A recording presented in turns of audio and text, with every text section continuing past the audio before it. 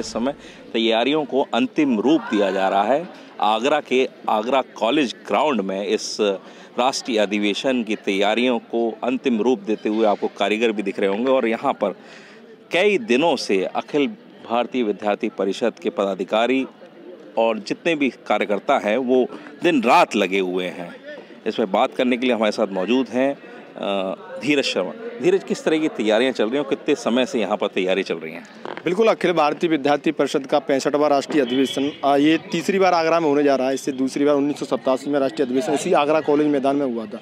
तो इस अधिवेशन में जो पूरे देश भर से कार्यकर्ता आ रहे हैं, उन कार्यकर्ताओं के लिए एक आकर्षक और भव्य बनाने का प्रयास आगरा के कार्यकर्ताओं द्वारा किया जा रहा है। इस अधिवेशन में हमारे पूरे देश भर से लगभग 2000 छात्र छात्रा एवं शिक्षक, शिक्षाविद, कार्यकर्ता बंधु भाग लेंगे। अधिवेशन में हमारे तमाम सामाजिक, शैक्षणिक एवं समसामयिक मुद्दे हैं, उन पर चर्चा होने वाली है। पूरे देश भर से जो प्रतिनिधि आते हैं तो इससे एक अधिवेशन लघु भारत का स्वरूप यहाँ पे आपको दिखाई देने को मिलेगा। जी।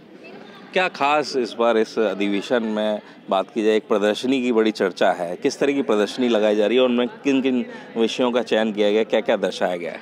अधिवेशन में वैसे तो बहुत सारी चीज़ें खास ही रहती हैं, लेकिन हमारे वो बना रहे हैं। उसके अंदर कैसे हमारे जो शहीद हुए थे, उनके पूरे यहाँ पे दृश्य दर्शाए जा रहे हैं। उसके साथ ही हमारी प्रदर्शनी लगाई जा रही है। प्रदर्शनी में विद्यार्थी परिषद द्वारा अब तक के किए गए सत्तर सालों में विद्यार्थी परिषद ने जो श्रेष्ठ, अपने जो श्रेष्ठ कार्य किए, उन कार्यों को दर्शाया जाएगा। बाकी हमारे देश के जो गौरव हैं, हमारे देश की जो प्रातन सभ्यता संस्कृति, उसको दर्शाया जाएगा। ऐसे तमाम और हमारे देश के जो वीर शहीद हैं उनके बारे में यहाँ पे दर्शाया दिखाया जाएगा उनकी प्रदर्शनी लगाई जाएगी। कितने यहाँ पर पदाधिकारी या प्रतिनिधि आ रहे हैं इस अधिवेशन में शामिल होने के लिए देश के?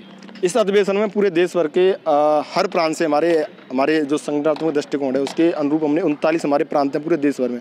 उन हर उनतालीस प्रांत से लगभग पंद्रह सौ कार्यकर्ता यहाँ पे आएँगे जिसमें छात्र छात्राएँ भी रहेंगे शिक्षक शिक्षाविद लोग भी रहेंगे। ऐसे लोग यहाँ पे मौजूद होंगे। हमारी विद्यार्थी परिषद पूरे अपने साल भर में क्या क्या काम करता है कौन कौन सी ऐसी जिन्हें हमें योजना है जिन पर हमें अपना काम करना है ऐसी सारी नीतियों पर यहाँ पर चर्चा होगी और विद्यार्थियों के लिए छात्र हितों के लिए समाज के हित के लिए राष्ट्र हित के लिए छात्र के अंदर कैसे वो भाव निर्माण किया जा सके ऐसे सारे विषयों पर हमारी चर्चा होगी। मुख्यमंत्री भी आ रहे हैं इस अधिवेशन में शामिल हाँ हमारा विद्यार्थी परिषद का हर बार जब राष्ट्रीय अधिवेशन होता है उस राष्ट्रीय अधिवेशन पर हम प्राध्यापक यशवंत राव किलकर युवा पुरस्कार होता है जो समाज के क्षेत्र में समाज सेवा के क्षेत्र में विशिष्ट कार्य करने वाले युवा को दिया जाता है। तो जो हमारा पच्चीस तारीख को वो कार्यक्रम रहेगा उस कार्यक्रम में मुख्य अतिथि के रूप में उत्तर प्रदेश सरकार के मुख्यमंत्री माननीय योगी आदित्यनाथ जी मौजूद रहेंगे।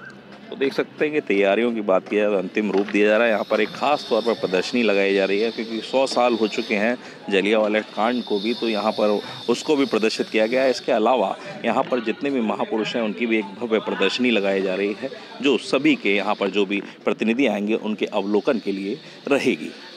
पंजाब किसी टीवी के लिए आगरा से ब्रिजभूषण।